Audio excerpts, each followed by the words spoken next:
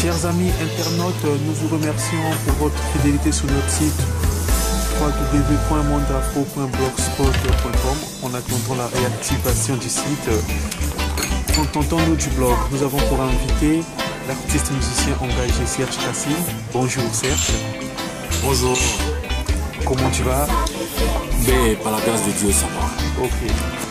Bon, depuis ton blog, nous allons commencer par euh, l'actualité qui défrait la chronique nationale euh, ivoirienne comme la chronique internationale. C'est le transfèrement euh, de l'ancien ministre de la Jeunesse de Laurent Charles Bégoudé en Côte d'Ivoire, après son interpellation dans la banlieue d'Accra au Ghana. À chaud, l'impression de Serge Cassi. Ben, comme tous les Ivoiriens, comme tout, euh, toute la diaspora, comme tout le monde entier, nous avons appris cette nouvelle avec beaucoup d'amertume. Avec beaucoup d'amertume et euh, simplement parce que, comme nous le disions en son temps, le régime actuel en Côte d'Ivoire ne, ne va pas dans le sens de la réconciliation comme nous le dénoncions en son temps, le régime a décidé de poursuivre sa politique de vainqueur.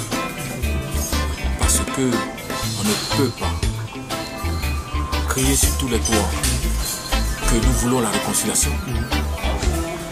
Et puis d'un autre côté, traquer tous tous les probables qui ont, qui ont, eu la chance de sortir du pays, les traquer à l'extérieur, jusqu'à ce qu'on puisse les arrêter et les extrader. Ça veut dire, ça veut dire que le régime en place en Côte d'Ivoire n'est pas prêt pour aller à la réconciliation et c'est dommage. Penses-tu qu'avec cet acte, le gouvernement ivoirien veut museler un opposant de taille? Oh, je ne, je ne, je ne pense pas, je ne pense pas que avec cet acte, le gouvernement aller à la paix. Charles Bégoudé, et, euh, comme vous le savez, a été celui-là qui a mobilisé les masses pour empêcher ce gouvernement-là de prendre le pouvoir par les armes. Vous savez.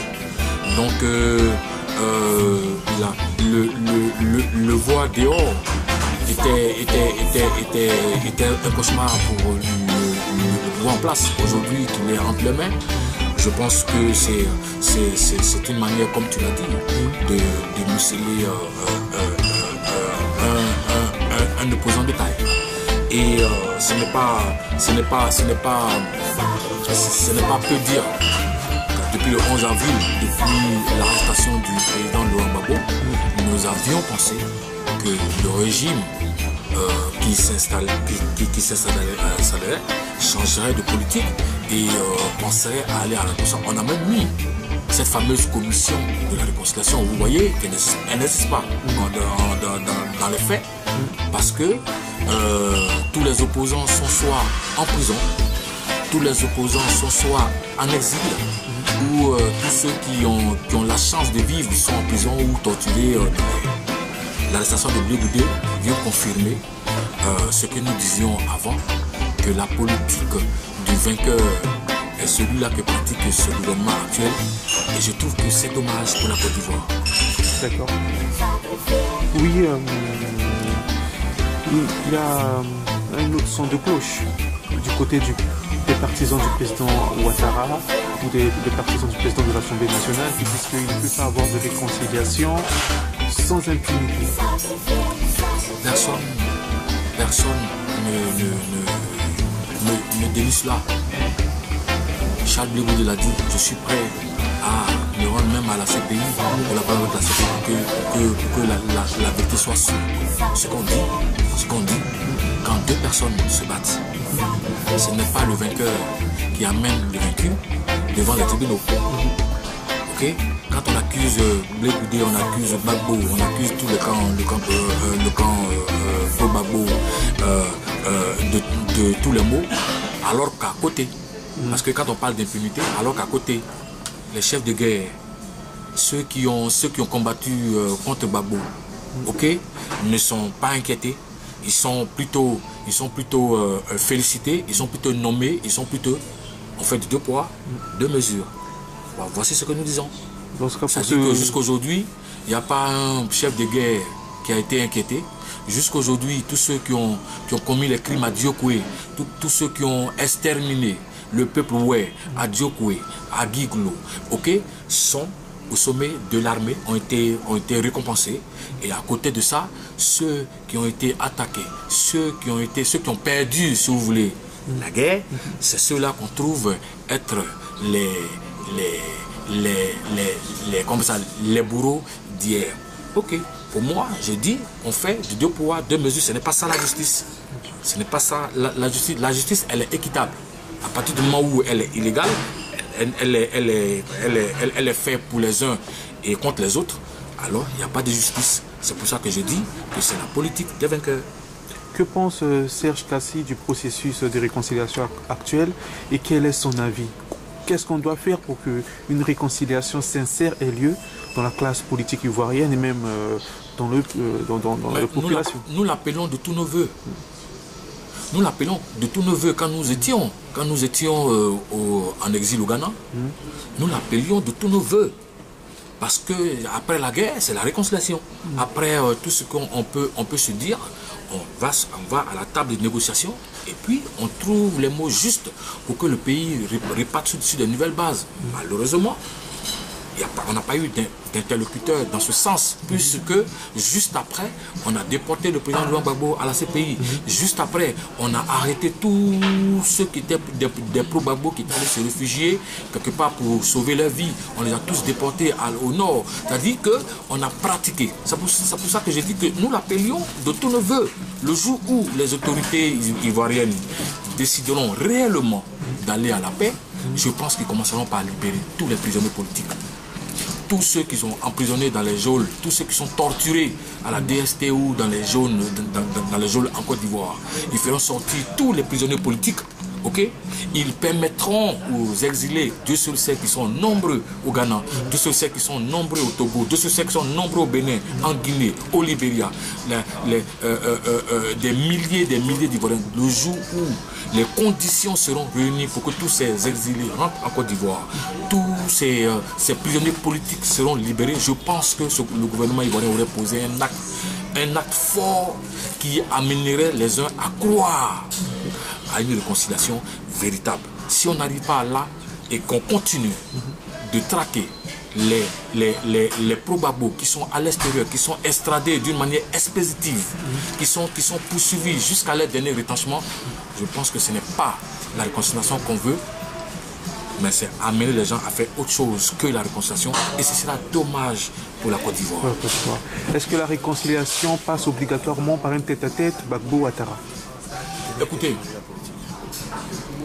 écoutez, euh, Laurent Gbagbo, même s'il est là, je pense qu'il contrôle encore. Il contrôle encore. Parce que sans, sans Laurent Gbagbo, sans Laurent Gbagbo, je ne pense pas qu'il puisse avoir une paix véritable. Il faut. Parce qu'en Côte d'Ivoire, il y a deux camps. Il y a le RADP uni de Bédier et de, et de, et de, et de, et de Ouattara. Et puis, il y a le camp Babo. Donc, avec Babo, je pense que la réconcili- la réconciliation sera effective. Donc, il est important qu'il y ait ce tête-à-tête entre Babo, Bédier et Ouattara. Tant qu'on peut, tant qu'on peut sauver euh, euh, euh, la réconciliation en Côte d'Ivoire, il faut se battre pour que Babo sorte de là. Pour que Babo parle à son peuple, pour que la paix. Parce que je pense, moi, que c'est le seul et unique qui peut parler à son peuple pour que les tensions baissent, pour qu'une réconciliation véritable soit faite. Et je demande aux autorités d'aller dans ce sens. Je demande aux autorités ivoiriennes d'aller dans ce sens, d'a- d'avoir la route, de prendre la hauteur de l'esprit au nom du peuple de Côte d'Ivoire, au nom de la Côte d'Ivoire, pour que la Côte d'Ivoire puisse se réconcilier. C'est la seule voie. Et je pense que cette voie-là est la meilleure. Qu'ils y méditent et qu'ils y pensent. Merci beaucoup. Et euh, l'actualité, c'est aussi la sortie imminente de ton maxi single. Qu'est-ce que tu peux dire à ce sujet? Oui, comme je l'ai dit, euh, comme je, je l'ai dit tantôt, nous sommes artistes musiciens. La vie continue pour nous. Donc euh, nous avons, nous avons euh, fini notre maxi single qu'on a appelé Tous ensemble positifs. que nous avons fait en featuring avec l'artiste Franco euh, Tiwoni, ok? Et euh, euh, que vous connaissez tous ici en France, qui a accepté de, de faire ce featuring avec moi. ok et euh, sur ce maxi single, nous avons inclus un titre qui relate un peu la vie, que ce que nous avons vécu en Côte d'Ivoire, ça s'appelle C'est vous. Et nous avons payé un autre titre, donc il y a quatre, trois titres plus un dub. Ça fait quatre, c'est un maxi que nous mettrons sur le marché très bientôt. Et le 3 février prochain, nous faisons, nous faisons, nous organisons avec, euh, avec mon équipe euh, un cocktail de presse à la Maison de l'Afrique, dans le 5e à Paris, et au métro Maubert Mutualité, 7 rue des Cam. ok? Ce sera le, le 3 février prochain à 15h à la Maison de l'Afrique. Alors tu me donnes l'occasion d'inviter toute la presse. Toute la presse française, toute la presse africaine installée en France, tous les mélomanes, tous ceux qui veulent découvrir un peu ce que nous faisons, d'être présents euh, le 3 février prochain à la Maison de l'Afrique pour qu'ensemble nous puissions échanger. Parce que nous, allons d'abord euh, leur, présenter ce massif single, les conditions dans, lesquelles ça a été, ça, euh, ça a été fait. Nous allons leur produire en exclusivité le nouveau clip que nous avons fait de, tous ensemble positif avec, avec. Et nous aurons un échange avec la presse sur euh, euh, euh, l'album et sur tous les sujets brûlants de l'actualité. Et ensuite, nous aurons ce cocktail-là, nous aurons cet échange-là amical avec tous ceux qui venus. Donc, je lance encore cet appel le 3 février prochain à la Maison de l'Afrique. Après la présentation du single le 3 février, y a-t-il des concerts en vue? Une tournée en vue Oui, nous sommes en train, nous sommes en train avec, avec, avec l'équipe de voir le premier concert de Serge Cassi euh, en cette année 2000, de 2013, je pense que le 3, nous pourrons dire la première date euh, du premier grand concert de Serge à Paris. Et euh, il y a d'autres trucs qui sont en train de se préparer à Saint-Etienne, à Lyon, c'est Lyon, à Lyon. Ok? Et voilà, on lance encore, un appel à tous ceux qui désireraient voir Serge Cassi en concert dans leur ville ou dans leur, dans leur pays ou dans leur truc, que voilà quoi, toutes les voies sont, sont possibles pour que nous, pour que nous, nous arrivions. Alors on a appris selon certaines indiscrétions d'un studio américain que vous avez enregistré un album. Qu'en est-il exactement? Oui, je pense que le maxi single, le maxi single précède la sortie du nouvel album qui s'appelle tout s'appelle euh, euh, euh, Au nom des miens. Au nom des miens qui comporte 14 titres. ok qui sortira 5 ou 6 mois après la sortie de, de, de ce maxi single. Donc l'album il est prêt, on, l'a fait aux États-Unis avec, euh, avec Georges Kwaku et avec, euh, avec toute une équipe. Nous avons enregistré à Lion Force. C'est le studio où on enregistre toutes les stars du reggae que tu peux t'imaginer, Bernier et tout. Il a été fait dans toutes les bonnes conditions. Il y a 14 titres. Juste après le, le, le 6 mois après, on sort l'album euh, au nom des miens. Voilà. Nous avons appris qu'il y a certains artistes qui ont intervenu dans cet album. Est-ce que vous pouvez nous les citer un peu Ou ça reste euh, la surprise? Oh, on a fait, euh, on, on, a fait des featuring euh, avec, euh, avec euh, Chacha Marley, qui est l'un des big stars de la musique reggae au Ghana. On a fait un featuring avec mon ami et frère François Kansi, un des grands artistes de, de, de, de, blues, de jazz, qui, qui, fait beaucoup de, de, trucs. On a fait Jacques Delis de Woody est intervenu dans un des titres euh, que j'ai repris sur l'album Mais Révolté. Je vous le conseille. C'est un, un, un chef-d'œuvre. Ah, ok. Est-ce que Serge Cassi est toujours révolté euh, culturellement? Euh, Écoutez, avec tout ce qui arrive à mon Afrique, avec tout ce qui arrive à mon peuple, surtout le peuple ivoirien, on ne peut qu'être révolté. Avec ces dernières images que je viens de voir de Charles, je ne peux qu'être révolté. D'accord. Et un dernier mot à vos fans? Qui sont à je travers voudrais, le monde. euh, je voudrais euh, euh, dire à tous ceux qui de près ou de loin nous soutiennent ou continuent de nous soutenir que je leur souhaite une très bonne année. Une très bonne année 2013 de bonheur, de réussite, de prospérité. Et qu'ils y croient. Il faut qu'ils y croient, il faut qu'ils persévèrent, il faut qu'ils soient positifs. Parce que tous ensemble, il faut que nous soyons positifs. Rendez-vous est pris pour euh, le 3 février.